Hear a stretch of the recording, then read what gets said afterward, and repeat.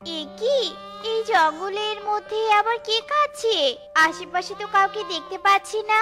যে ঘন জঙ্গল, আবার কোনো ভূত আমাকে ভয় দেখাচ্ছে না তো? না, আমি বরং একটু খুঁজে দেখি কে কাছে। কেউ তো আবার বিপদেও পড়তে পারে। এসব বলে টুনি কান্নার আওয়াজ শুনে শুনে সামনে এগোতে থাকে। তার মানে তুমি এতক্ষণ কাঁদছিলে? এ কি? তোমার শরীরে এত রক্ত কেন? কীভাবে আঘাত পেয়েছ তুমি? আমার শরীরে ঘা হয়েছে। আজ বেশ কিছুদিন হয়ে গেল। তবুও ঘা ভালো হচ্ছে না। আর ঘাগুলো থেকে খুব রক্ত পড়ছে। আহারে তোমার কতই না কষ্ট হচ্ছে। চিন্তা করো না। তুমি আমার সাথে আমার বাড়িতে চলো। আমি তোমার চিকিৎসা করে তোমাকে সুস্থ করে তুলবো। সত্যি তুমি আমাকে সুস্থ করে তুলবে? আমি আবারও আগের মতো চলাফেরা করতে পারব? হ্যাঁ তুমি সব করতে পারবে। এখন আমার পিঠে ওঠো, আমি তোমাকে বাড়িতে নিয়ে যাচ্ছি। তুমি খরগোশ নিয়ে এসেছ? এটা তুমি কোথায় পেলে, মা? ও মা এই শরীরে কি হয়েছে? কত রক্ত পড়ছে? একে জঙ্গলে পেয়েছি রে মা। আর শরীরে ঘা হয়েছে। এই ঘাগুলো থেকে হয়তো রক্ত পড়ছে। তাই তো আমি একে সুস্থ করতে বাড়িতে নিয়ে এলাম। এক কাজ কর তো মা, কোনো কাপড় দিয়ে এর পুরো শরীরটা মুছে পরিষ্কার করে দে। আর আমি কাঠগুলো বিক্রি করে এর জন্য ওষুধ নিয়ে আসছি। আচ্ছা ঠিক আছে মা। যাও খরগোশ তুমি এখানে থাকো, আমি তোমার শরীর পরিষ্কার করে দিচ্ছি। এরপর টুনি সেখান থেকে চলে যায়। আর টুকি শুকনো কাপড় দিয়ে খরগোশের শরীর পরিষ্কার করতে থাকে। এদিকে টুনি কাঠগুলো বিক্রি করে ঔষধ নিয়ে বাড়িতে চলে আসে। মা, টুকি, খরগোশের শরীর ভালোভাবে পরিষ্কার করেছিস তো? হ্যাঁ মা, আমি ভালোভাবে পরিষ্কার করে দিয়েছি। এখন তুমি ওকে ওষুধ খাইয়ে দাও। এরপর টুনি খরগোশকে ওষুধ খাইয়ে দেয়। আর এভাবেই টুনি প্রতিদিন কাঠ কেটে তা বাজারে বিক্রি করে খরগোশের জন্য ওষুধ নিয়ে আসতো। এভাবেই দেখতে দেখতে বেশ কিছুদিন কেটে যায় আর খরগোশটিও সুস্থ হয়ে ওঠে। টনি মাসি টুকি তোমাদের অনেক ধন্যবাদ। সত্যি তোমরা অনেক ভালো। আর তোমাদের জন্য আমি সুস্থ হয়ে উঠেছি। আমি এখন আবার আগের মতো চলাফেরা করতে পারব। কত যে শান্তি লাগছে তা বলে বোঝাতে পারব না। কিন্তু তোমরা আমার উপকার করেছ। তাই তোমাদের যদি কিছু উপহার দিতে পারতাম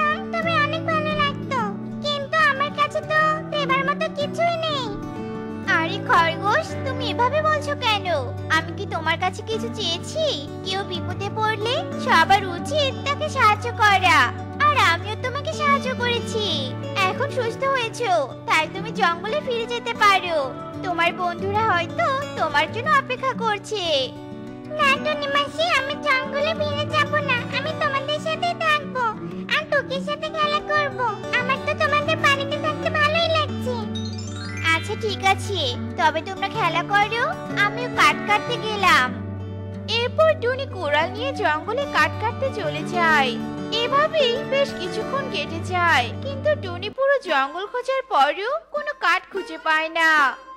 আজকে তো জঙ্গলে কাটার মতো কোনো গাছই পেলাম না।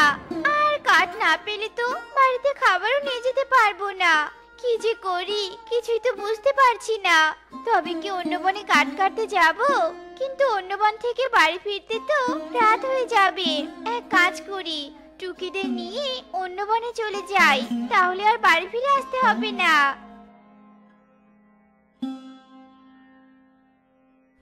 মা টুকি, চল, আজ আমরা অন্য বনে চলে যাব। এই বনে তো কোনো কাঠ খুঁজে পেলাম না। এই বনে থাকলে না খেয়ে মরতে হবে আমাদের। ঠিক আছে মা, চলো তবে। আমরা অন্য বনে চলে যাই। খরগোশ তুমি আমাদের সাথে চলো।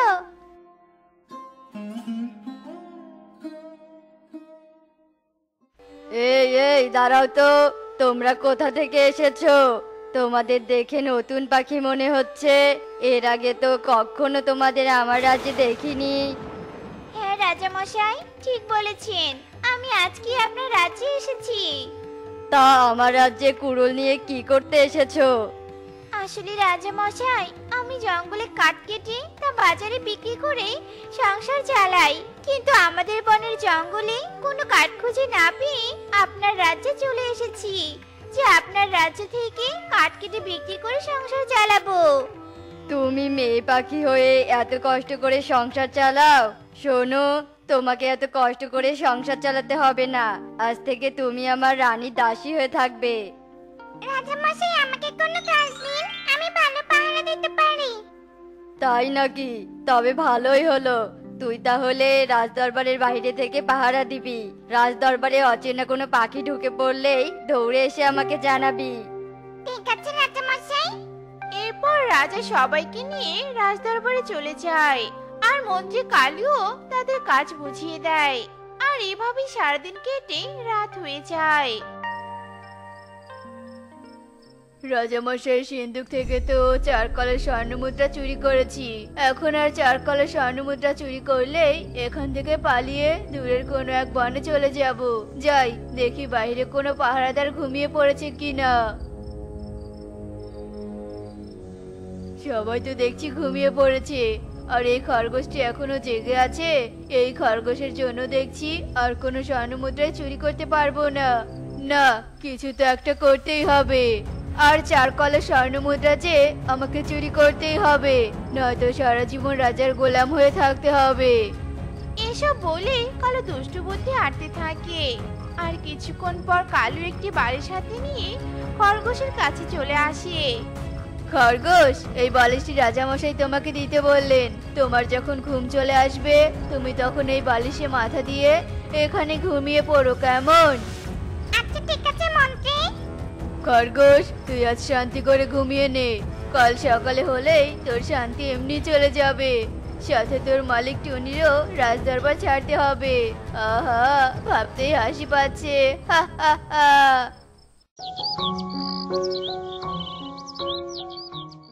রাজামশাই রাজামশাই, সর্বনাশ হয়েছে আপনার।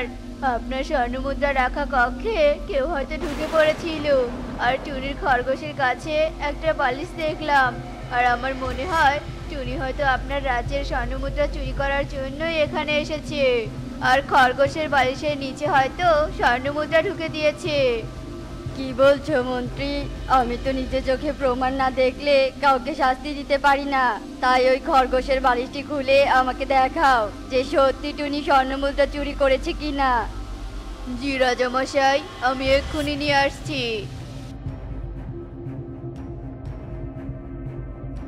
এ কি? সত্যিই তো দেখছি আমার স্বর্ণমুদ্রাগুলো চুরি করে বালিশে ঢুকিয়ে রেখেছে। শয়তান পাখি আমি তোর কষ্ট দেখে তোকে আমার রাজদরবারে কাজের সুযোগ করে দিয়েছি। আর তুই কি না আমার স্বর্ণমুদ্রাগুলো চুরি করে খরগোশকে দিচ্ছিস?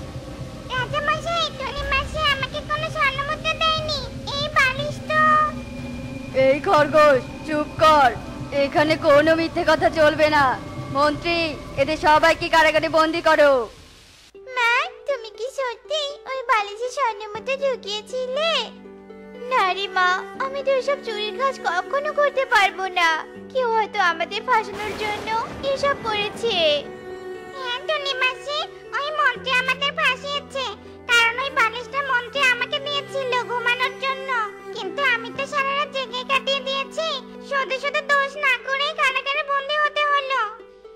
মানে মন্ত্রী হয়তো প্রতিদিন রাতে স্বর্ণমুদ্রা চুরি করে। আর তুমি দেখে ফেলবে জন্য আমাদের ফাঁসিয়েছে, যাতে কেউ না দেখতে পারে। কিন্তু চিন্তা করো না, সত্য কখনো লুকিয়ে থাকে না। একদিন ঠিক ওই মন্ত্রী ধরা পড়বে। রাত হয়ে গেছে, আর সবাই ঘুমিয়েও পড়েছে। আজ এই খরগোশও বাহিরে নেই। এই সুযোগে আমি স্বর্ণমুদ্রার কলস চুরি করে নিয়ে যাই।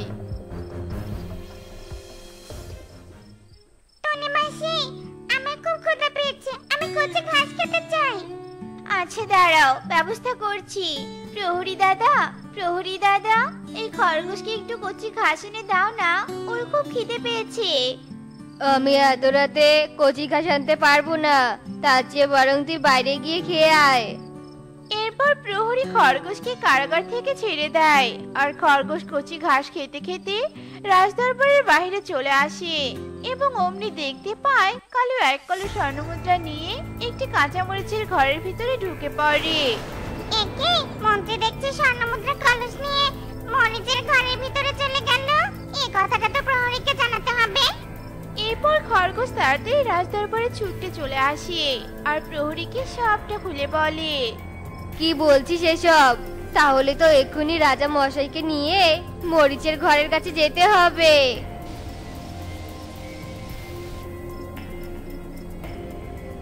ছি ছি, কালু, আমি তোর কাছে এই আশা করিনি। আমি বিশ্বাস করে তোকে রাজ্যের সব দায়িত্ব দিয়েছিলাম। আর তুই কিনা চুরি করে অন্যের নাম দিচ্ছিস? প্রহরী, স্বর্ণমুদ্রার কলসগুলো নিয়ে রাজ দরবারে চলো। রাজদরবারে এর বিচার হবে।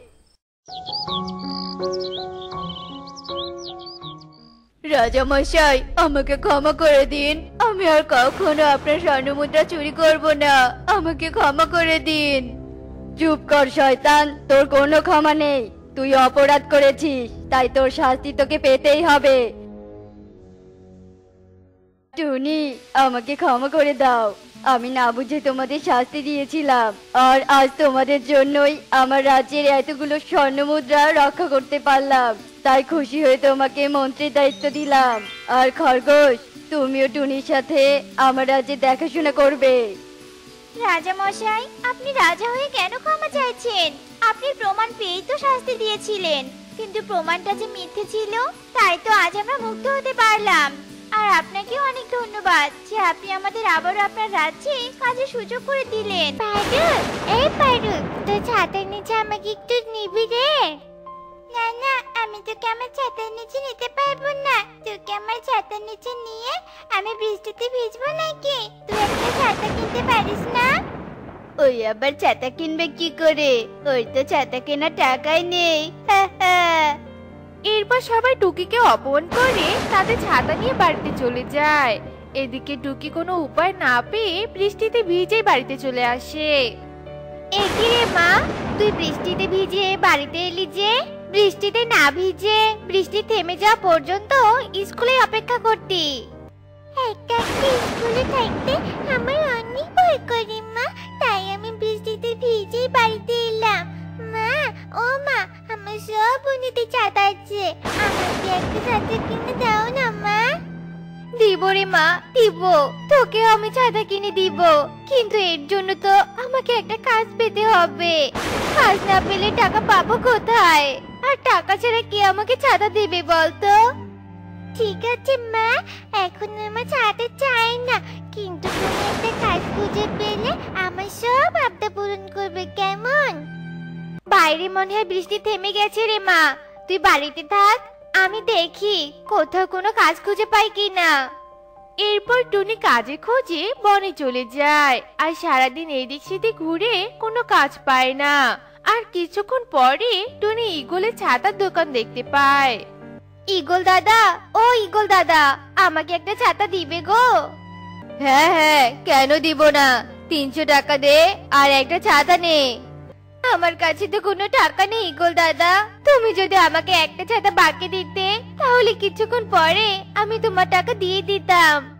দূর হয়ে যা চোখের সামন থেকে। টাকা নেই, আবার ছাতা কিনতে এসেছে। যত সব ফকির ভিকারি আমার কাছেই আসে। ইগলের কথায় কষ্ট পেয়ে টুনি কাঁদতে কাঁদতে সেখান থেকে বাড়ি চলে আসে। আর কিছুক্ষণের পরেই রাত হয়ে যায়।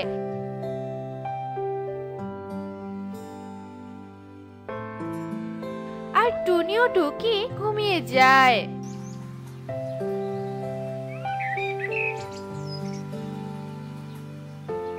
পরের দিন সকালে আবারও অনেক জোরে বৃষ্টি শুরু হয়।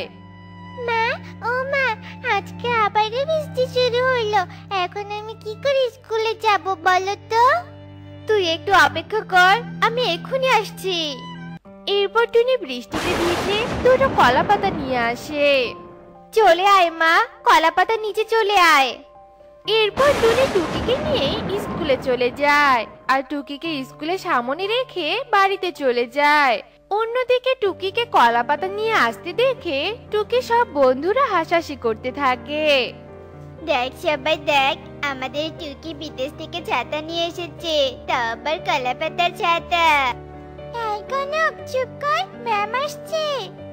কিছুক্ষণ পর ক্লাসে মিষ্টি দিয়ে আসে আর টুকিকে কাঁদতে দেখতে পায়। টুকি, কি হয়েছে তোমার? কাছো কেন? ও আচ্ছা শোনো সবাই, আমাদের বনে কম বেশি সবাই গরিব, আর তাদের মধ্যে টুকিরা একটু বেশি গরিব, কারণ টুকির বাবা বেঁচে নেই। টুকির বাবা বেঁচে থাকলে তোমাদের মতো ওরও কিছুর অভাব হতো না। আর তোমরা তো সবাই সবার বন্ধু। আর বন্ধু হতে গেলে সব জিনিস ভাগাভাগি করে নিতে হয়। কিন্তু তোমরা কেউ সেটা করনি। সবাই টুকিকে কষ্ট দিয়েছ। তাই সবাই টুকির কাছে ক্ষমা চাও। আমি ভুল হয়েছে টুকি, আমাকে তুই মাফ করে দে, প্লিজ। এই টুকি, আমাকেও মাফ করে দে। আমিও তোকে অনেক কষ্ট দিয়ে ফেলেছি। তোরা নিজে ভুল বুঝতে পেরেছিস? তাই আমি তোদেরকে ক্ষমা করে দিলাম। এরপর ক্লাস থেকে মিষ্টি দিয়ে চলে যায় আর সবাই আবারও বাড়িতে চলে যাওয়ার জন্য প্রস্তুত হয়। আহ পারু এই পারু তুই আমাকে ধাক্কা দিলি কেন? তুই কি ভেবেছিলি হ্যাঁ? তোর সাথে আমরা বন্ধুত্ব করব আর তুই কি আমাদের ছাতার নিচে নিব? না তা কখনোই সম্ভব না। জন্য ম্যাম আমাদেরকে কথা শুনিয়েছে। তোকে আমরা কিছুতেই আমাদের ছাতার নিচে নিব না নিব না। ঠিক বলেছিস, পারুল। তুই টুকিকে ফেলে দিয়ে একেবারে ঠিক করেছিস। চল, এখন আমরা বাড়িতে চলে যাই। এমনিতে অনেক দেরি হয়ে গেছে। এরপর সবাই সেখান থেকে চলে যায় আর টুকিও কাঁদতে কাঁদতে বাড়ি থেকে চলে যায়। আর কিছু দূর যাওয়ার পর টুকি একটা ভাঙাচোরা ছাতা দেখতে পায়। আরে ওইটা একটা ছাতা পড়ে আছে। কিন্তু এটা কার ছাতা? আমার মনে হয় এই ছাতাটা পুরনো হয়ে গেছে বলে কেউ এটাকে চুরে ফেলে দিয়েছে। যাই আমি ভাঙা চুরা ছাতাটাকে বাড়িতে নিয়ে যাই। কিরে মা এই পুরনো ছাতাটা কার কাছ থেকে নিয়ে এলি? এরপর টুকি টুনিকে সব কথা খুলে বলে। সে না হয় বুঝলাম কিন্তু তুই এই পুরনো ছাতাটা দিয়ে কি করবি বলতো? মা, এই ভাঙের ছাতা দিয়ে তুমি আমাকে একটা ছাতা বানিয়ে দাও। আর এই ছাতা নিয়ে আমি বৃষ্টিতে পুরো বন ঘুরে বেড়াবো। কি হলো মা? কথা বলছো না কেন?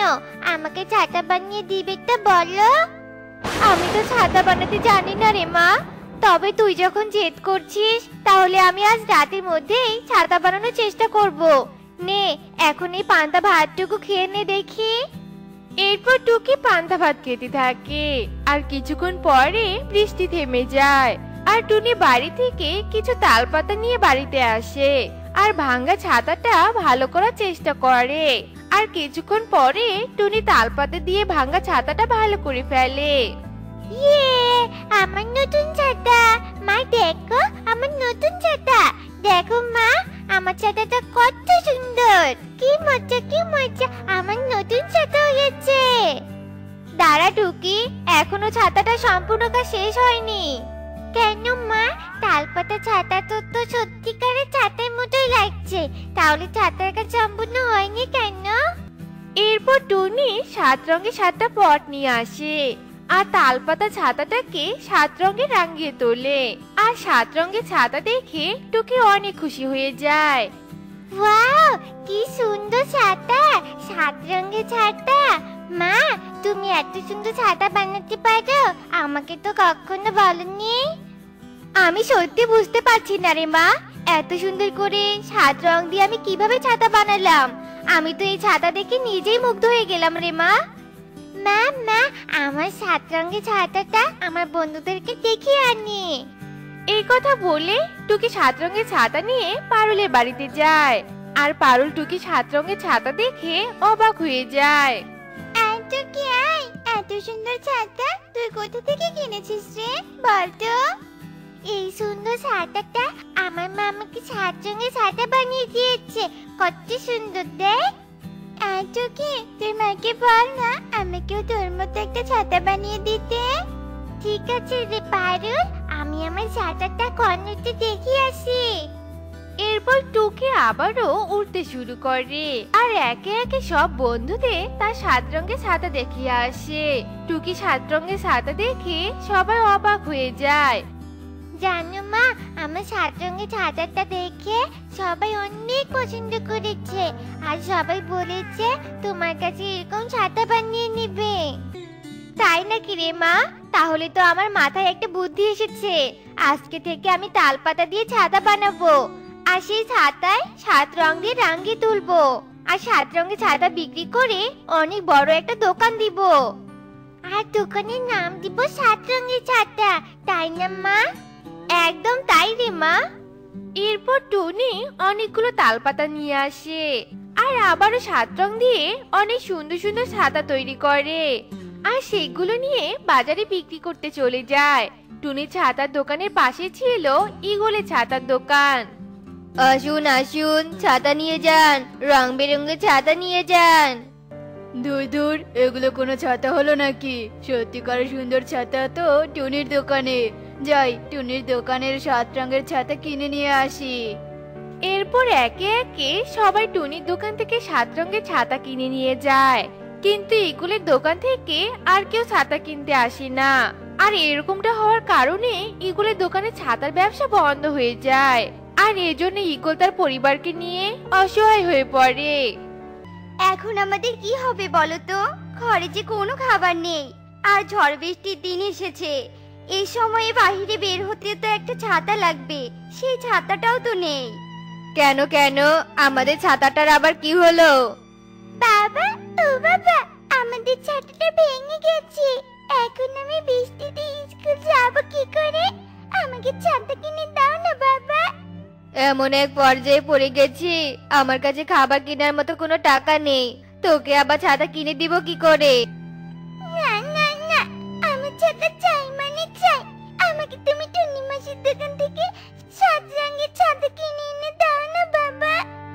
টুনি আমাকে একটা ছাতা দিবি? হ্যাঁ গো ইকল দাদা, এই নাও, আমার সাত রঙের ছাতা। কিন্তু টুনি, আমার কাছে ছাতা কেনার মতো কোনো টাকা নেই। আর একদিন আমি তোকে এইভাবে ফিরিয়ে দিয়েছিলাম, তাহলে কি তুই আমাকে ছাতা বাকি দিবি? কেন দিব না? একজন আরেকজনের বিপদে সাহায্য করব, এটাই তো আমাদের সবার কর্তব্য। আজকে আমি সুখে আছি, এমনও একদিন আসবে, আমি কষ্টে থাকব। তাই আমি যদি আমার সুখের ভাগটা সবার সাথে ভাগ করে নিই, তাহলে সবাই আমার কষ্টের ভাগ নিতে একবারও ভাববে না। ঠিক বলেছিস রে টুনি, আমি সেদিন তোকে তাড়িয়ে দিয়ে অন্যায় করেছি। তুই আমাকে ক্ষমা করে দে। ইগল দাদা, তোমাকে ক্ষমা চাইতে হবে না। যাও, ছাতাটা নিয়ে তুমি চলে যাও। তো বন্ধুরা, আমাদের আজকের এই গল্পটি তোমাদের কাছে কেমন লেগেছে তা কমেন্টে জানাতে ভুলো না কিন্তু।